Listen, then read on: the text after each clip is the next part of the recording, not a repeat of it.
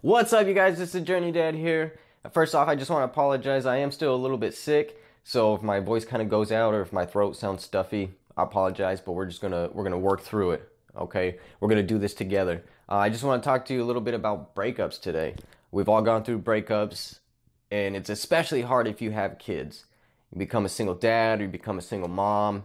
It's a whole new ball game when when you have kids and, and you have a breakup with the uh, other parent of your child.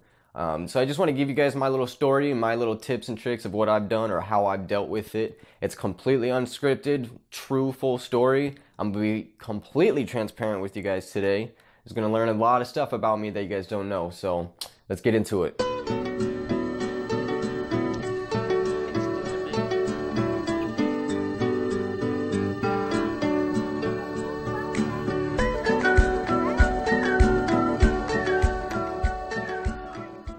Right, you guys. So I've done research on YouTube. I've seen the videos on breakups, and everybody tells you the same advice, the same.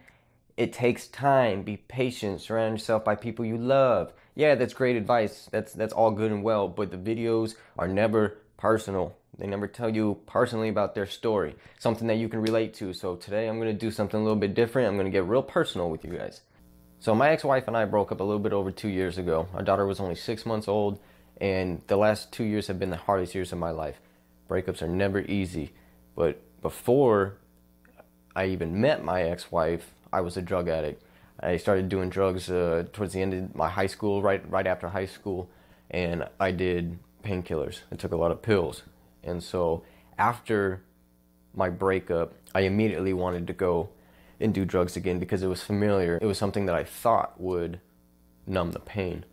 But I knew that I had a baby girl. I knew I had a six month old daughter who needed me to be clear headed and take care of her, do what I needed to do as a dad. As much as I wanted to go back to drugs, I didn't. And I'm only telling you about my previous drug addiction because I know there's a lot of you out there who do deal with substance abuse issues or whether it be drugs or alcohol.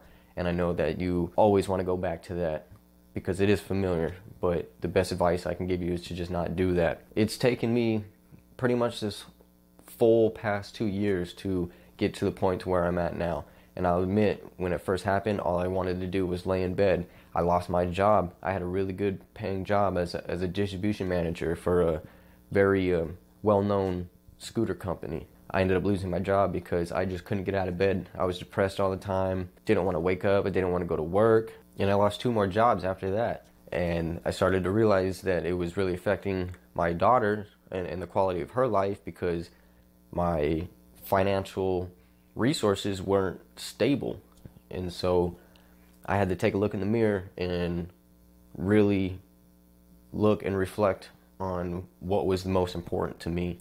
Feeling sorry for myself and laying in bed and not wanting to get up and take care of the stuff I needed to take care of as a dad, or push through it and kick my own ass, really, and get myself in gear and yes, I did. I, I surrounded myself with people who loved me and people who were there for me and supported me, and that helped a little bit. I'm not gonna lie, it did help a little bit. But when you have a broken heart and you've been with somebody for so long, I was with my my ex-wife for four years, and it's just so difficult to get over that time that you guys spent together. I mean, you you build you build a home, you build a family together, you get used to all the little quirks of somebody, and all of a sudden they're just gone and you wake up in the middle of the night and you, you, you feel like they're there, but they're really not. So you turn over and they're just not there. And it's the worst feeling in the world. And that's happened to me so many times in the last two years, which really contributed to me not wanting to get up in the morning. I wake up in the morning and roll over and just see an empty bed. And it was very difficult to deal with. After losing a couple of jobs because of my own issues, I, that's when I realized that I needed to change something in my life. That's when I started reading books. I started reading self-help books. Started watching self-help videos on YouTube. I started to sit down and really think about how I can change myself so that I can be happy with myself again. Because at that at the time of the breakup, I just I wasn't happy with myself. I I didn't want to be even be around myself. And it's horrible because you don't want to be around anybody else because you you want to isolate yourself, but at the same time, you don't even want to be around yourself, and that's where the danger comes in, because that's when you turn to to drugs or alcohol or anything you can to to even escape your own self and your own reality. The only thing that has truly worked for me is to just dive into something and distract myself completely from the thought of her or the thought of being alone because the number one cause for having depression especially like after a breakup is you feel no value in yourself because somebody has left you somebody does not want to be with you anymore so you feel like you have no value that you have no purpose and so that's where the depression stems from is not feeling value, not feeling like a, a sense of self accomplishment. Set little goals for yourself every day. Write them down on a piece of paper. Actually, get a physical notebook and actually write down little goals for you to do the next morning or the or the next day. And as you do those, you just you cross off each each one. And that feeling of actually seeing something that you've written down that you've told yourself to do and then accomplishing that and crossing it out from your list, you get a very high sense of satisfaction with yourself. And it could be something as simple as making your bed. That was one of mine, was just waking up and making my bed every morning. So basically, you, you have to give yourself a purpose the night before, then the next day, fulfill all those purposes.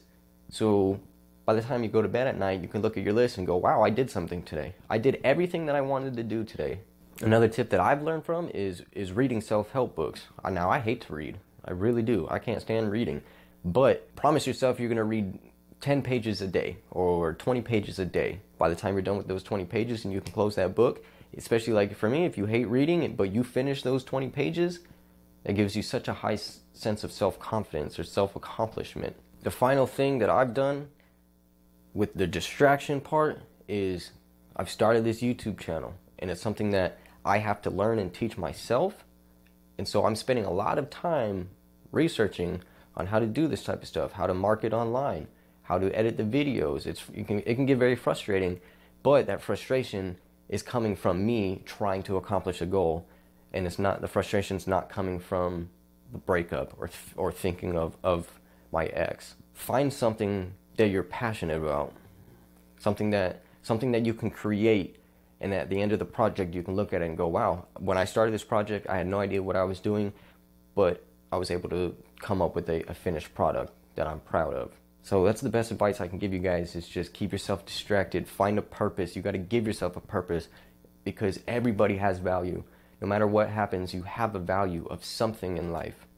Okay, and if I could just help one person, then I've done my job. That's all I'm setting out to do is to just help at least one person to realize that they're not the only person in that position, that there's other people out there who go through the same thing. And this is my true story. This is this is really what I'm doing. I'm actually starting online businesses and learning how to market and learning how to do social media marketing, making YouTube videos. I run a pet care blog like I've said before. My pet care blog is starting to make money. And that gives me such a high sense of self-satisfaction.